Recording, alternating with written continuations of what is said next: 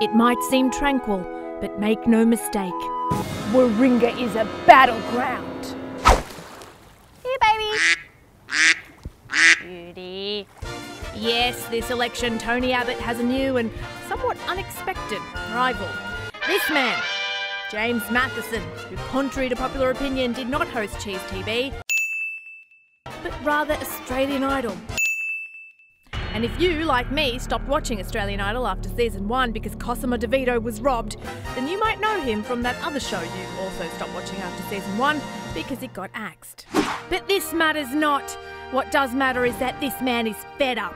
He cares about same sex marriage, the environment, and refugees, and wants to make a difference. And what's to say he can't?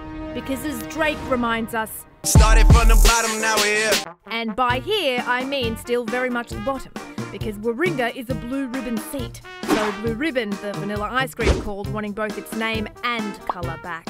The reality is Tony Abbott's held this seat for 22 years and is expected to win by a margin of 15.4%.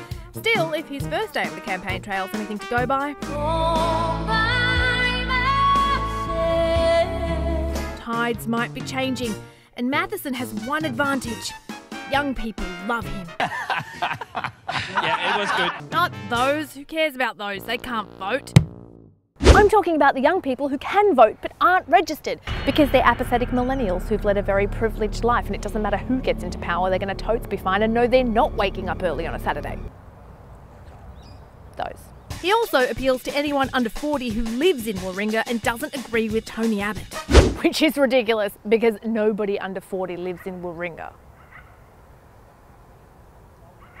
The point is, while it is difficult, it's not impossible for James to win Warringah. All you got to do is be less shit than the other guy. That's it. Yes, and have some clear cut policies, a strong voice, be a people person, make connections, lie occasionally, and promise stuff that you may or may not deliver.